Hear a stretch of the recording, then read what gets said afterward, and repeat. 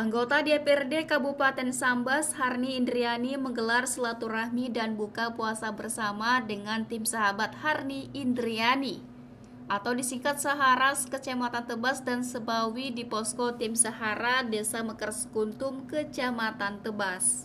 Silaturahmi ini dilaksanakan dalam rangka mendekatkan diri dengan seluruh tim Sahara, di mana anggotanya ada sekitar 130 orang yang tersebar di dua kecamatan.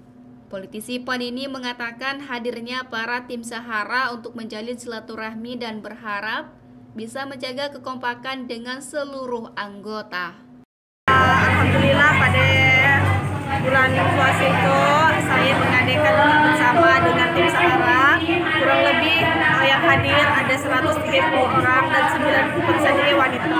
Harapan saya ke depan semoga dengan uh, diadakannya buka bersama dengan tim Sahara untuk menambah kekompakan uh, dan insya Allahnya akan mendukung saya. Tampak tim Sahara yang mayoritasnya terdiri dari 90% kaum wanita ini menyantap makanan yang telah disediakan. Begitu azan maghrib berkumandang. CSM TV madahkannya.